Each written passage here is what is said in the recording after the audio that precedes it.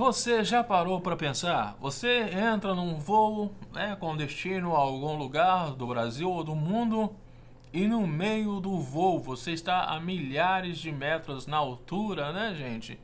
E o avião começa a pegar, sabe, fumaça para todo lado e você não consegue enxergar nem a pessoa que está na sua frente, você não sabe de onde está saindo aquela fumaça e você acha que o avião também, né, já vai ali, né, para baixo em questão de segundos.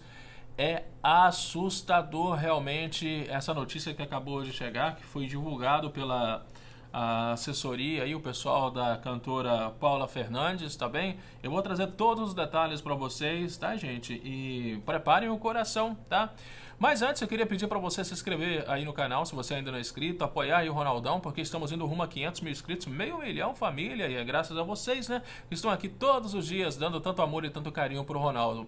Não esqueça de comentar, dar o seu like, compartilhar o vídeo, aí de baixo também vou deixar o link do meu Instagram, do meu outro canal e também do meu videoclipe novo, para vocês verem, né, que o Ronaldo até cantar, canta, né?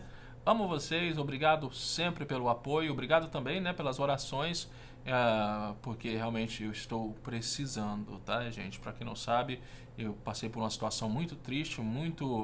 Uh, um milagre aconteceu na minha vida, tá? Se você quer saber o que aconteceu, os vídeos estão aí no canal à disposição. Quero largar essa profissão. Paula Fernandes sofre, olha isso, atentado com. Meu Deus do céu, gente teve até faca, bam bam bam, foi uma situação horrível, tá? Que aconteceu juntamente com aquela confusão toda dentro do avião, né, que eu acabei de citar para vocês. Desespero.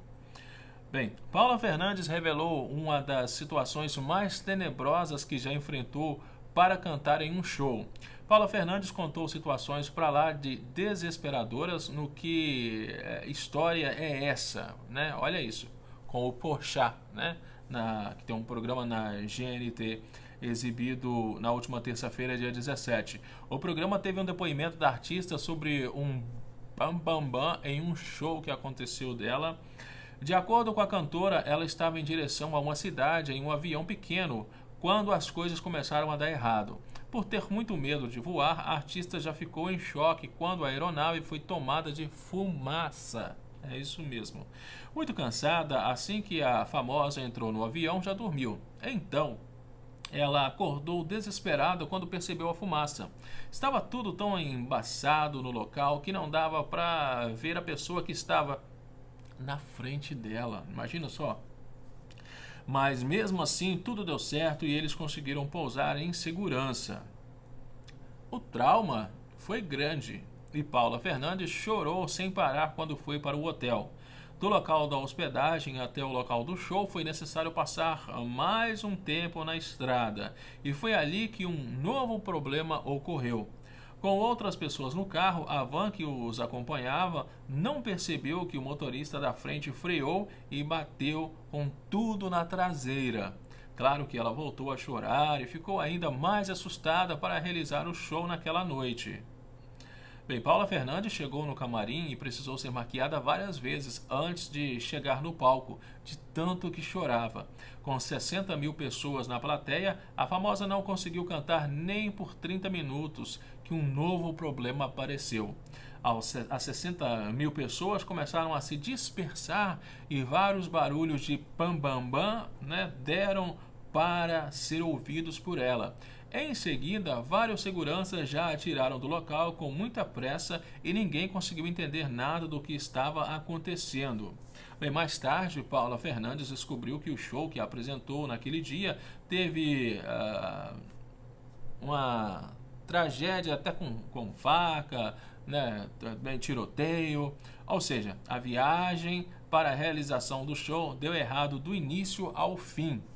Eu quero largar essa profissão disse a famosa naquele dia.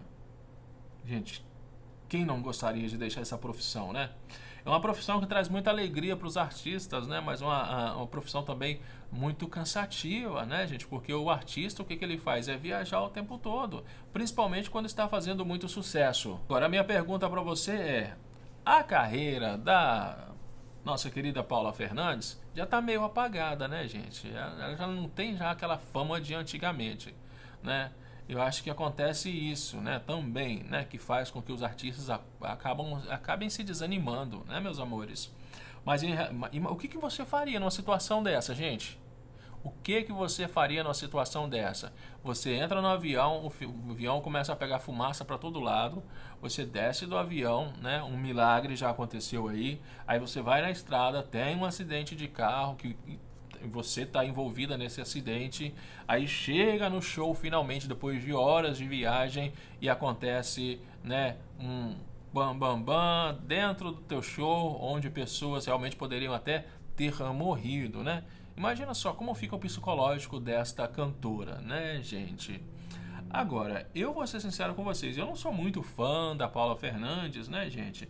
Porque eu, eu porque falo aí nos, atrás dos bastidores é de que é uma pessoa muito difícil, né? Além disso, aconteceu aquela confusão toda com o pai dela, né? Algo muito chato, muito triste realmente. Porque eu acho que, na minha opinião, a família tem que estar unida, né? Eu realmente eu fico muito triste porque eu, acontece isso na minha família também né? É, eu sou praticamente abandonado pela minha família, né? Ninguém tá nem aí comigo, principalmente depois que eu comecei o canal aqui, né? As pessoas se afastaram realmente, né? Eu não sei por quê, né? Porque deveriam ficar felizes com o sucesso do canal, né? Com quase meio milhão de inscritos, mais de 90 milhões de visualizações, ou seja, eu estou fazendo algo que realmente está sendo relevante, as pessoas têm gostado, né? Mas nem sempre todo mundo está feliz com a sua felicidade e infelizmente às vezes nem a sua própria família quer ver você bem. Não é isso? Deixa aí nos comentários se você já teve alguma experiência assim, né, de que a tua própria família né, não, não quis te apoiar nos seus projetos, nos seus sonhos, né, gente? Mas eu acho que o mais importante do, de que ter o apoio dos amigos, dos colegas, da família, é você ter o apoio de Deus, né? Porque a partir do momento que você tem o apoio de Deus, tudo dá certo. Mesmo que haja inveja, haja raiva, maldade, vontade de ver o outro realmente no buraco, né? Deus sempre vai te honrar e sempre vai realmente realizar os sonhos nos seus corações. Porque apesar de eu não ser uma pessoa perfeita, né? Eu tenho meus defeitos, Deus sempre realizou os meus sonhos. Eu acho que é isso também que incomoda muita gente, né? Mas, voltando para Paula Fernandes, eu espero que ela continue cantando, fazendo shows dela e que ela seja muito feliz na vida dela, porque eu acho que é o que todos nós buscamos né, em nossas vidas, a, a felicidade, né? Dinheiro não traz felicidade, o que traz felicidade é ter o amor das pessoas que né, estão do nosso lado, é a realização de sonhos, é você poder fazer o bem sem olhar a quem, não é isso, gente? Eu acho que o mais importante, eu quando eu ajudo alguém, me dá uma satisfação tão grande, sabe? Eu uh, preencho o meu coração de saber que um simples gesto que eu fiz mudou a vida daquela pessoa, daquela família ou de quem seja. Deixa aí nos comentários, meninas e meninos, o que vocês fariam no lugar da Paula Fernandes. Amo vocês, suas lindas, e não esqueça de compartilhar o vídeo. Nos vemos daqui a pouquinho no próximo vídeo. Até já!